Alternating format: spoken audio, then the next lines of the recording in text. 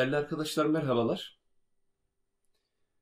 Ee, doçent doktor e, Bayram Kanarya ben İlahiyat Fakültesi e, Hadis Ana Bilim Dalı'nda görev yapıyorum. Bugün e, bir kelimeyi, e, bu kelimenin anlamını, bu kelimenin e, hayata yansımasını sizlerle paylaşmak istiyorum. Bu kelimenin adı cihat. Cihat nedir? E, sorusunu sorduğumuzda cihat aslında Arapça bir kelime olup cehd kökünden gelmektedir. Cehd, gayret etmek, sıkıntılarla karşı karşıya kalmak ve bu sıkıntılara göğüs germek demektir.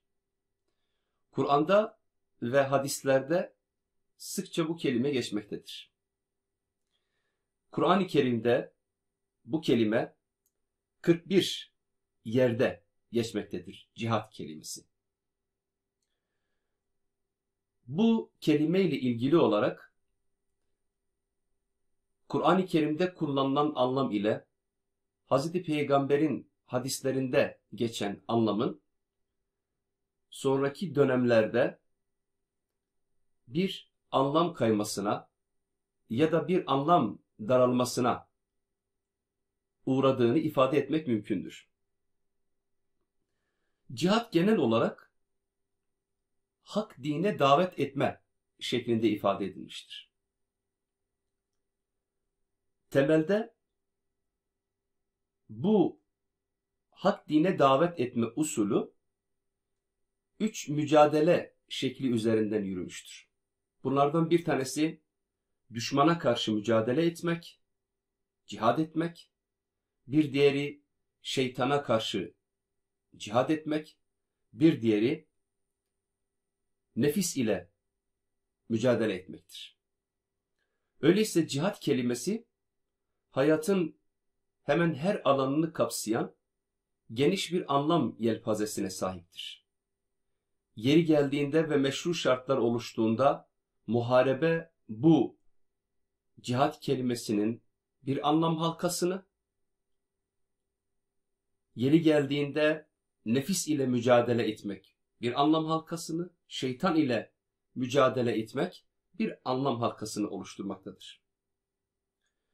Öyleyse cihadı temelde ikiye ayırmak mümkündür. Bunlardan bir tanesi maddi cihat, diğeri de manevi cihattır. Özellikle kuvvet, mal, dil, kalp, amel gibi hususlarla yapılan cihat, cihadın ne kadar bir anlam alanına sahip olduğunu göstermektedir.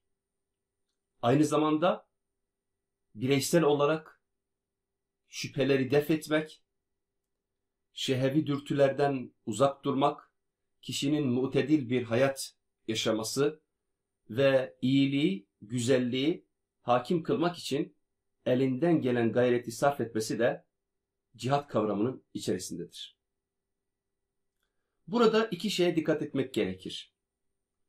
Kimileri cihadı sadece nefis ile mücadeleye, kimileri ile kimileri de sadece harp meydanlarında savaş yapmak şeklinde sınırlandırmışlardır.